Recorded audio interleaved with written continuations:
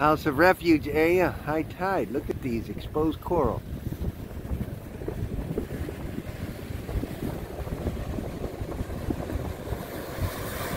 Going coming in?